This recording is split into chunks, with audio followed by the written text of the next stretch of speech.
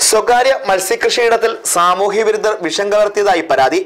കൈതക്കോട് സ്വദേശി ബിജുവിന്റെ ഉടമസ്ഥതയിലുള്ള പവിത്രേശ്വരം ആലാശ്ശേരിയേലയിലെ മത്സ്യം കൃഷി ചെയ്യുന്ന കുളത്തിലാണ് വിഷം കലർത്തിയത് വ്യാഴാഴ്ച രാത്രിയിലായിരുന്നു സംഭവം.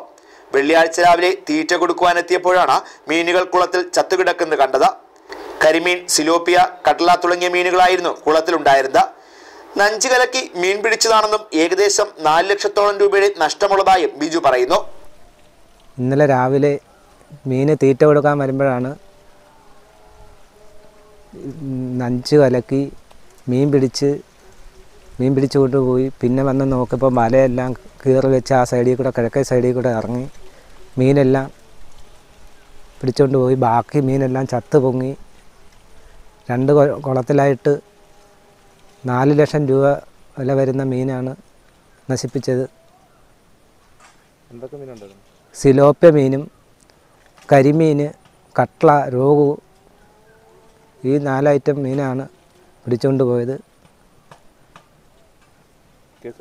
കേസ് കൊടുത്ത് എഴുവൻ സ്റ്റേഷനിൽ കേസ് കൊടുത്തിട്ടുണ്ട്.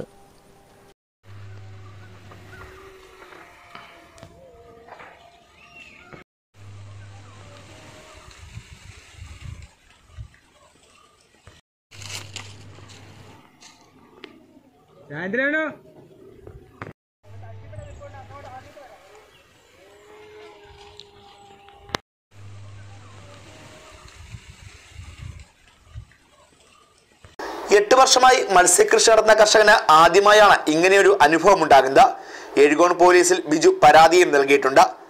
News bureau Anchal.